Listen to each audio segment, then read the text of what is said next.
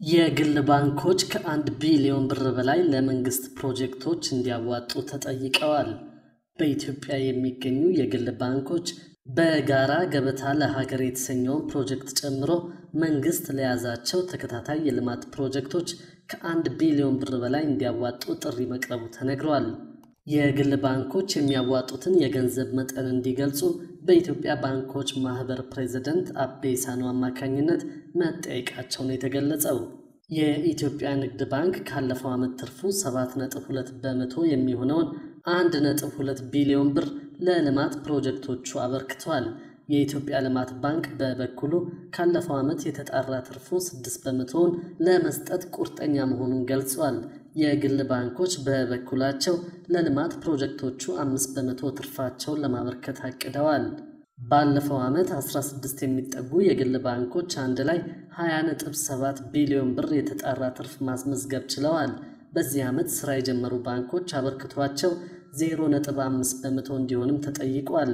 አዲሱ የብሔራዊ ባንክ ገዢ አቶ ማሞ ምህረቱ በቅርቡ በተደረገ ስብሰባ የባንኮችና የኢንሹራንስ ኩባንያዎች ኃላፊዎች ለመንግስት የልማት አጀንዳዎች የበኩላቸውን እንዲወጡ ጥሪ ማቅረባቸውን ምንጮች ገልጸዋል ሲል አዲስ ፎርቹን አስነብበዋል። በኢትዮጵያ ለተከሰተው የውጭ ምንዛሬ እጥረት አንዱ ምክንያት መንግስት ከአበዳሪዎች ጋር የጀመረው ውይይት መቋጫ አለማግኘቱ መሆኑ በተደጋጋሚ ተነግሯል። አሁን ግን የሰሜን ኢትዮጵያው ግጭት በመቆሙ በአዲስ መልክ ከኢትዮጵያ ጋር ለመስራት ተስፋ እንደሰጠና በኢትዮጵያ በኩል የቀረበውን የገንዘብ እርዳታ በተመለከተ ቴክኒካዊ ዝግጅት እየተደረገ መሆኑን ዓለም አቀፉ የገንዘብ ተቋም ወይም አይኤምኤፍ አስታውቋል። የተቋሙ ቃል አቀባይ ጁሊ ኮዛክ እንደተናገሩት ተቋሙ የበርካታ አፍሪካ ሀገራትን ኢኮኖሚና የፋይናንስ ሁኔታ ለማረጋጋት አብሮ እየሰራ መሆኑን አስታውቀዋል። ኢትዮጵያን በተመለከተም ተቋሙ የተደረሰውን የሰላም ስምምነት በበጎ እንደተቀበለ እንዲሁም ከኢትዮጵያ ባለስልጣናት ጋር የኢኮኖሚ ሪፎርም እቅድን በተመለከተ ውይይት በመደረግ ላይ መሆኑ ታውቋል። ቃል አቀባይዋ በመቀጠል እንዳሉት ተቋሙ የኢትዮጵያን የኢኮኖሚም ሆነ የሰብአዊ ተግዳሮቶችን በተመለከተ እንዴት መርዳት እንደሚቻል ከባለስልጣናት ጋር ምክክር እየተደረገ ነው። የሰላም ስምምነቱ ትግበራ በጥሩ እየሄደ መሆኑንና የሰብአዊ እርዳታና መሰረታዊ አገልግሎቶች በትግራይ ክልል መመለሳቸው በመልካም የሚታይ መሆኑን ቃል አቀባይዋ ጨምረው ተናግረዋል። በተመሳሳይ አይኤምኤፍ ከጋናና ዛምቢያ ጋርም በተለያዩ መስኮች አብሮ እየሰራ መሆኑን አስታውቋል። ከሰሞኑ የግል ባንኮች በኮሚሽን አንዱን ዶላር እስከ 115 ብር እየሸጡ መሆኑ በተደጋጋሚ ተዘግቧል። ቻይና ከኮሮና በኋላ የጉዞና የንግድ እንቅስቃሴ ፈቅዳለች። በዚህም ምክንያት ነጋዴዎች ዕቃ ከቻይና ለማስገባት በርካታ ገንዘብ ወደ ዶላር መቀየር መጀመራቸው ተነግሯል። ይህም የዶላር ምንዛሬ ይበልጥ ሊያሳድግ ይችላል የሚል ስጋት ፈጥሯል። እንደ ሁልጊዜ ሁሉ ዛሬም የውጭ ሀገራት ገንዘቦች ምንዛሪን ተመልክተናል። በባንክ መደበኛ ምንዛሪ ዶላር መጠነኛ ጭማሪ አሳይቷል። ንግድ ባንክ ዛሬ አንዱን ዶላር የገዛበት ዋጋ 53 ብር ከ87 ሳንቲም ሲሆን የሸጠው ደግሞ 54 ብር ከ95 ሳንቲም መሆኑን በድረገጹ ገልጿል። ፓውንድ እና ዩሮም ከአንድ ብር በላይ ጭማሪ አሳይተዋል። አንድ የእንግሊዝ ፓውንድ 63 ብር ከ27 ሳንቲም ሲገዛ መሸጫው ደግሞ 64 ብር ከ53 ሳንቲም ሆኗል። በተመሳሳይ ንግድ ባንክ አንዱን ዩሮ በ58 ብር ከ58 ሳንቲም ገዝቶ በ59 ብር ከ75 ሳንቲም ሲሸጥ ውሏል። የቻይናው ዩዋንን ደግሞ 7 ብር ገደማ ባንኩ ሲመነዝር ውሏል። በውጭ ሀገራት ያሉ ህገወጥ የሐዋላ መንዛሪዎች በዛሬው ዕለት እየመነዘሩ ያሉበትን ዋጋ ለመመልከት ከተለያዩ አካባቢዎችን መረጃ አሰባስበናል። መረጃዎቹን ከኬንያ፣ ደቡብ አፍሪካ፣ እንግሊዝና አሜሪካ ነው ያሰባሰብ ነው። ናይሮቢ ላይ አንድ ዶላር በመቶ ብር ገደማ እየተመነዘረ ወደ ኢትዮጵያ ይላካል። ባለፉት ጥቂት ሳምንታት ናይሮቢ ላይ አንድ ዶላር በመቶ ብር ሲመነዘር ነበር። በዚህም ምንም ጭማሪ አለመኖሩን ከመረጃ ምንጮቻችን ለማወቅ ችለናል።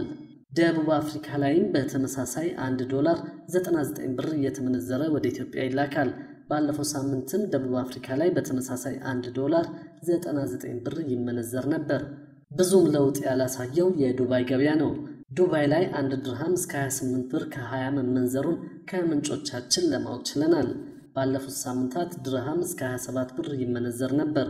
እንግሊዝ ላይ አንድ ፓውንድ ስተርሊንግ 118 ብር ገደማ እየተመነዘረ ወደ ኢትዮጵያ ይላካል። ባለፉት ሳምንት እንግሊዝ ላይ አንድ ፓውንድ 115 ብር ይመነዘር ነበር።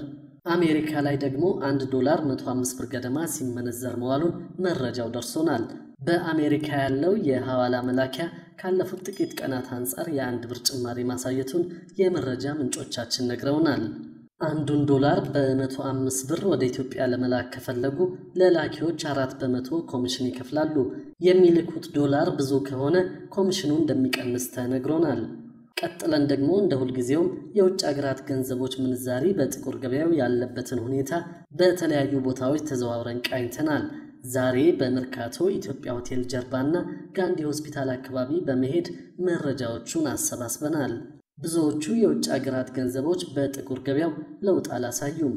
አንድ ዩሮ በጥቁር ገበያው 98 ብር አካባቢ በመመንዘር ላይ ይገኛል።